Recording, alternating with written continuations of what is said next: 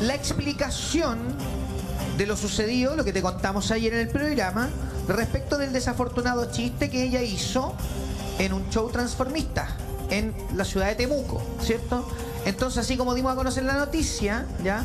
Está bueno también dar a conocer y leer lo que pone ella en su red social. ¿Te parece, Alejandra, que Michael lo pueda leer? ¿Puede ser? Claro, por supuesto, léelo. Michael. Me lo había pasado a mí, pero dale, Michael. Ya, mira, dice lo siguiente.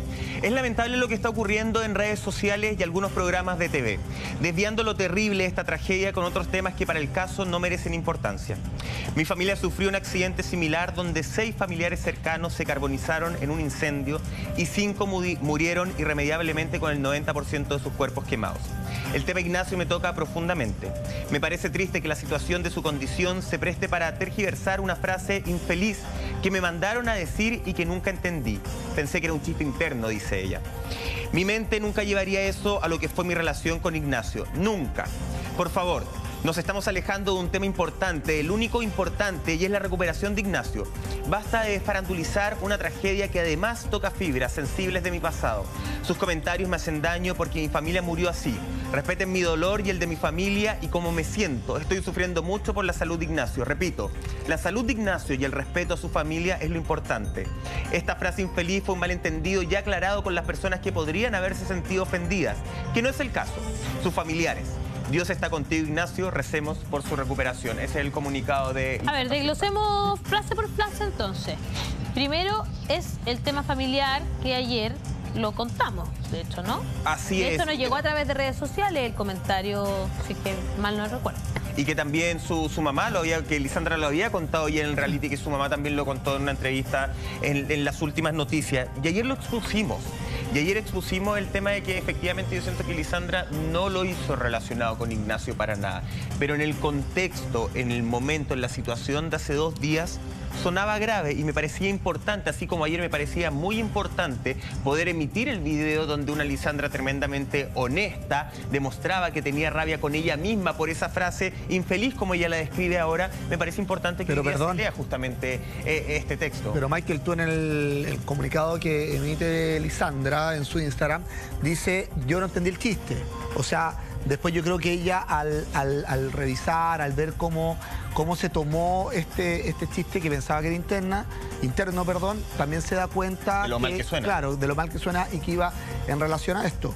A mí me parece, ojalá, eh, eh, voy voy a decir, ojalá la gente, como los fanáticos de Liz, entiendan nuestro punto. hay- hay porque, no quiero de nuevo 200 mensajes en donde creen que a, eh, a nosotros nos cae mal Liz, ni mucho menos. Todos podemos tener una mala talla. Todos podemos hacer una mala talla. Nosotros con Osvaldo acá, entre comillas, somos los que po- podemos jugar como al límite y nos podemos equivocar. Cuando uno se equivoca, tiene, tiene que decirlo. Pero también, como lo, lo dijimos ayer, somos todos adultos y todos sabemos que esa talla iba vinculado a lo que estaba pasando. Pero es que no- Está bien. Ella dice, y se lo dijeron, y lo aclara perfecto. Lo También lo perfecto, contamos ayer. Y lo, y- y lo contamos ayer, y está, está perfecto. Dijo, ¿sabéis qué? Entre, puede ser, como lo decía Osvaldo, las revoluciones, la noche, el griterío, puede ser que se le pasó, listo, pidió perdón, está perfecto. Pero de que fue un mal chiste, fue un mal chiste, y eso también hay que reconocerlo. Sí, Ahora, ayer, ayer lo hablamos. A mí, Pero lo a mí lo, que, dice. a mí lo único que yo no entiendo es a la gente que nos estuvo ofendiendo toda la tarde. Es que, es que no, es que no, que no parece entiendo. que era, parece ser la misma persona, porque además puso el mismo mensaje muchísimas veces. Eh, Osvaldo, tú defendiste a... ¿Y también te lo mandaron o no? Porque sí. tú defendiste a Liz. Ahora, y yo también. Y sigo De defendiéndola. Y, y dijimos que le creíamos. Sigo defendiéndola. Ahora me- y me- que la- la No. lo, lo que sucedió, Ahora, sucedió. me parece Y que nosotros ella- ponemos todos los distintos puntos. Pa- Paréntesis a lo que dice la Ale, porque dice que nunca dimos el argumento, también la gente en redes sociales que no dimos el argumento de Liz. Liz le había mandado un video Y lo a vi Michael en donde, Sí, en donde y yo creo ella que- decidió que no lo emitiéramos y Michael igual Y yo lo que en el salía en el video. Y solo voy a decir algo. Si aquí hay alguien que está farandulizando el tema y siguiendo el tema, es ella. Porque ella podría haberlo cerrado ayer. Sí, y me parece que ella comete un error. Mira, yo, yo, voy yo, yo- yo apoyo a Lisandra, todavía sigo creyéndote, Lisandra, pero me parece que subir un video de lo que del reporte de intruso me parece que te genera más problemas. Eh, No, no debieses haberlo hecho, debieses haber subido un video hablando tú. No necesitas mostrar la nota de nosotros, la nota de nosotros muestra lo que sucedió y ahí la gente se puede dar su propia opinión. Necesitamos saber tu opinión, Lisandra. A lo mejor está bien el escrito, me parece que es sincero, yo te creo. Pero no sé si tú te diste cuenta, Lisandra, subiste este, este video video lo subiste hace 10, 12 minutos y ya tienes muy malos comentarios. ¿En serio qué dice la Muy- gente? la gente está muy enojada Perdón, con es la parte del todavía. chiste. Entonces, Bueno, sí. Pero sí. si eso fue lo único que Uno lee los hablamos. comentarios es que por eso, es que son mucho más negativos. Osvaldo, po. porque perdón, en la parte del chiste, eh, nosotros acá también lo comentamos y lo dijimos, como que el público hace como un silencio. Más encima la gente se ¿Cachai? va- ¿no? A- Ayer nos escribieron, no solamente a mí, creo que a Michael también, no sé si a ustedes. todos. Eh, la persona, no, no, no, pero no, no, no, no, no los fanáticos de Lisandra, sino que Ah. la persona que estaba animando con Ah, eh, Lisandra sí. al lado, ¿no?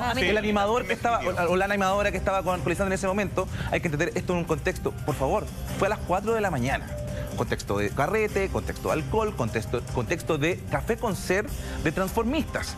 Lo recalco porque es distinto. Yo sé que mucha gente no puede entender esto, pero es distinto, Oh. es diferente. Los chistes son de alto calibre.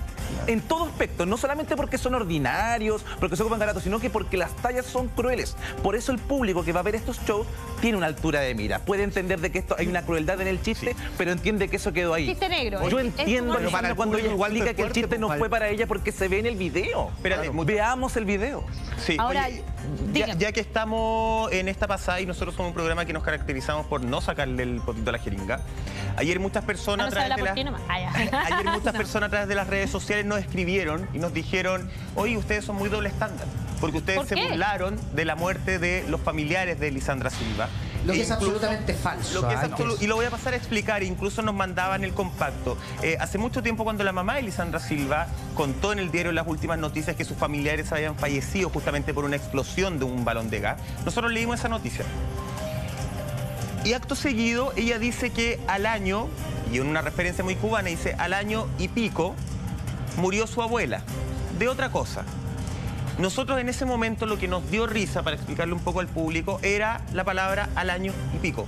Jamás nos reímos de la, del fallecimiento de ningún familiar de Lisandra Silva, menos de que hayan muerto quemados. Me acordaba- yo ni pare- siquiera me parece necesario explicarlo porque además, claro, eh, se, se tira una, una mala broma en ese momento y si hay que pedir disculpas, las pido yo a nombre del equipo, pero en ningún momento nos burlamos del fallecimiento. Sí, para nos nada. reíamos de la referencia Solo decirte que, que nos hizo... sentado, sentado acá, al lado, acá, al lado. Nosotros allá con Osvaldo, con suerte escuchamos lo que se habla acá a veces. Claro, pasa Cuando eso, pero la estás gente ahí- no lo sabe. Cuando Pero- tú estás leyendo, yo no escucho Es que lo que tú estás leyendo. Sí, Mira, es que, pero dejar ¿sabes en claro que a Yo ni lo que nos siquiera me acuerdo de lo que sucedió. O sea, Era de yo la pido referencia disculpas, por supuesto Sí. también, a nombre del programa. Si eso ofendió a alguien, por favor, soy la Sí, primera persona duda. en ponerme de rodillas porque no tengo problema. Sin duda. En- Eh, no, no es mi intención nunca ofender a Claro, nadie. porque una cosa ya es reírse, digamos, de, de- de la palabra pico, que, que en, en otros eso países no significa otra cosa, digamos. Claro. Como y- y tiempo. Y, ya, y ya, digamos, no, es bien huevón, digamos, reírse de eso, es bien infantil, lo que quieran, ¿ya? Somos cabros chicos. Pero jamás, jamás, nosotros no lo hemos hecho, ni lo vamos a hacer, ni lo estamos haciendo, jamás nos burlaríamos, por Dios, de la muerte de alguien, ¿cachai? Eso, Yo- eso es lo que ha tomado los fanáticos, como muy bien dice Claudia, hay personas que nacen para ser fan, ¿ya? Y que dedican su día a estar todo el día y toda la cuestión. Han utilizado ese video de mala forma, creo yo, porque no tiene nada que ver. Es más, Lisandra se habría en algún momento comunicado con nosotros, nos habría reclamado y, y no lo ha hecho porque está claro. de- Jamás haríamos eso. No, Entonces yo creo que está bien hecha la aclaración. Agreguemos algo más a esto, que también nosotros como programa ayer nunca quisimos cuestionar a Liz. A la única, de hecho, que cuestionamos Fue la manager. fue a la manager de Liz. Y la cuestionamos por no permitirnos pasar el material que ella, donde ella pedía las disculpas porque creíamos que ella quedaba muy bien, porque se notaba lo arrepentida que estaba de haber tirado una talla, que yo le creo a mí a las Totalmente. 4 de la mañana, en una discoteca, en un escenario, donde convengamos, en una discoteca gay se pasa bien, se toman sus cositas, son las 4 de la mañana, ¿cachai? Está ahí todo el rato riendo, echando la talla, talla, talla, talla, porque las transformistas son de una rapidez. De verdad que es impresionante.